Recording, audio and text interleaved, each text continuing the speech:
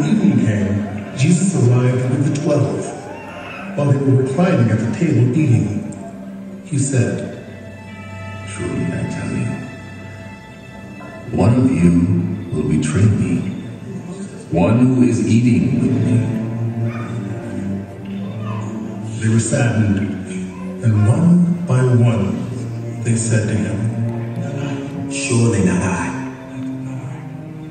Surely not, not I. Surely not I, Lord. It is one of the twelve. One who dips bread into the bowl with me. The Son of Man will go, just as it is written about him. But woe to that man who betrays the Son of Man. It would be better for him if he had not been born. While they were eating, Jesus took bread, and when he had given thanks, he broke it and gave it to his disciples, saying, Take it. This is my body. Then he took the cup, and when he had given thanks, he gave it to them, and they all drank from it. This is my blood of the covenant, which is poured out for many. He said to them, Truly I tell you, I will not drink again of the fruit of the vine until that day when I drink it new in the kingdom of God. When they had sung a hymn, they went out to the Mount of Olives. I strike the shepherd, and the sheep will be scattered. But after I have risen,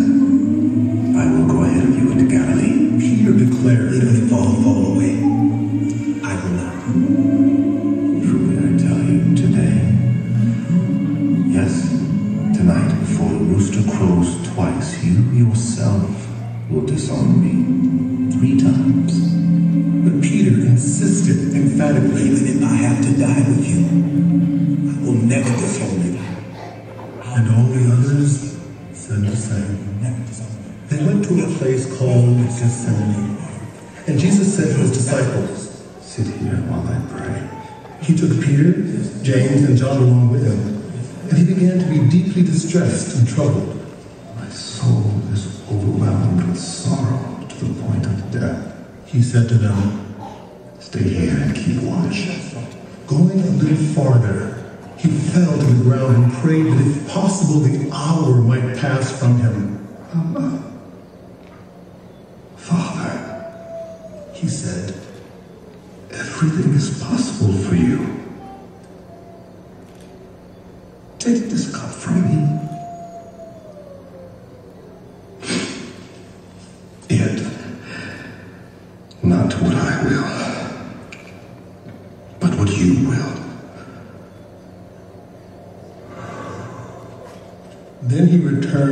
Disciples and found them sleeping.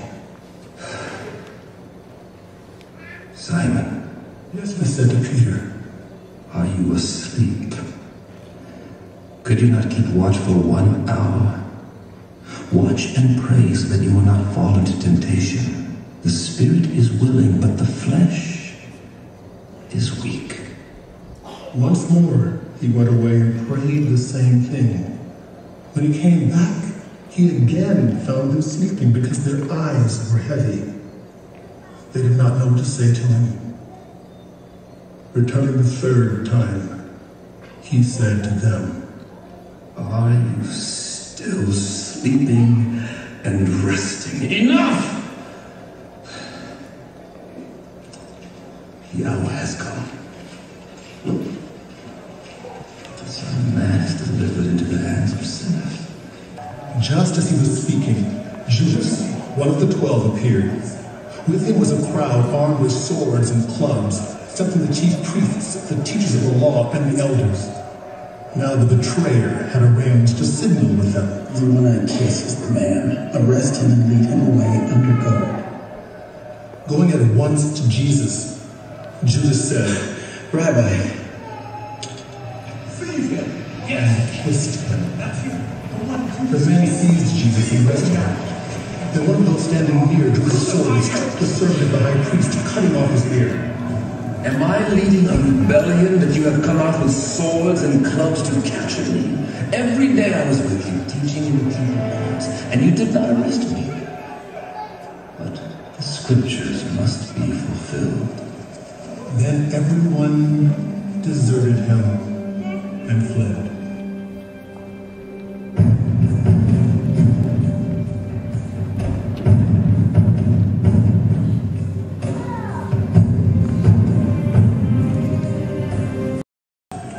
They bound Jesus, led him away, and handed him over to Pilate. Are you the king of the Jews? Asked Pilate. You have said so. Jesus replied. The chief priests accused him of many things. So again Pilate asked him, Aren't you going to answer? See how many things they are accusing you of. But Jesus still made no reply, and Pilate was amazed. Now it was the custom at the festival to release a prisoner whom the people requested. A man called Barabbas was imprisoned with the insurrectionists who had committed murder in the uprising. The crowd came up and asked Pilate to do for them what he usually did. Do you want me to release to you the king of the Jews? asked Pilate, knowing it was out of envy that the chief priests had handed Jesus over to him. But the chief priests stirred up the crowd to have Pilate release Barabbas instead. What shall I do then with the one you call the king of the Jews? Pilate asked them. They shouted, Why? What crime has he committed? asked Pilate, but they shouted all the louder. Wanting to satisfy the crowd, Pilate released Barabbas to them. He had Jesus and handed him over to be crucified. The soldiers led Jesus away to the palace, that was the Praetorium, and called together the whole company of soldiers. They put a purple robe on him, then twisted together a crown of thorns and set it on him, and they began to call out to him. Hail, King of the Jews! Again and again they struck him on the head with a staff and spit on him. Falling on their knees, they paid homage to him. When they had mocked him, they took off the purple robe and put his own clothes on him. And they led him out to be crucified.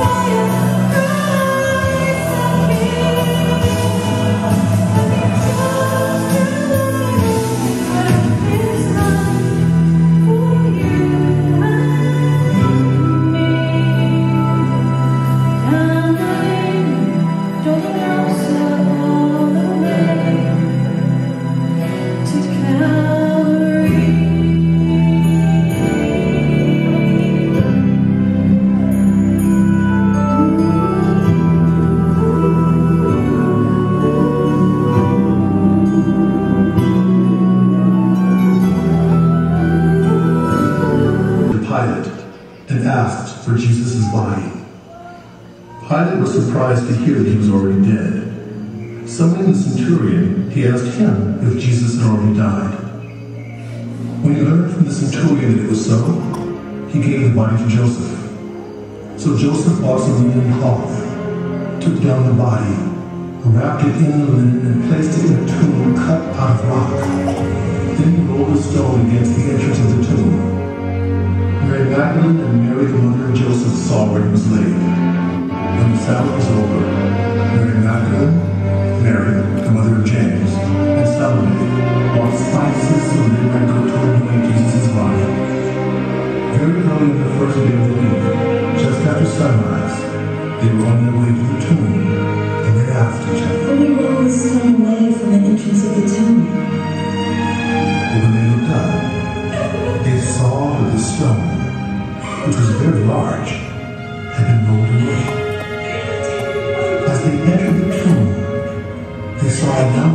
in a white robe sitting on the right side, and they were alarmed. Don't be alarmed. He said, You are looking for Jesus the Nazarene who was crucified. He has risen.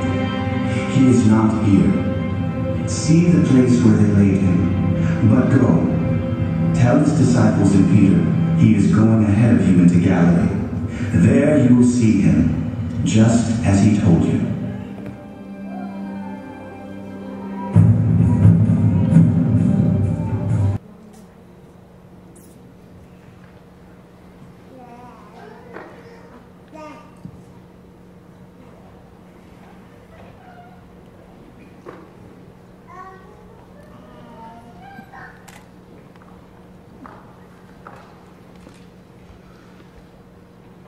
Lift up your head, O ancient gates. Be lifted up, O ancient doors. For the King of glory may come in. Who is the King of glory? The Lord, strong and mighty. The Lord, mighty in battle. Lift up your gates, O ancient doors. For the Father may come in. Who is the King of glory? The Lord of hosts, he is the King of glory.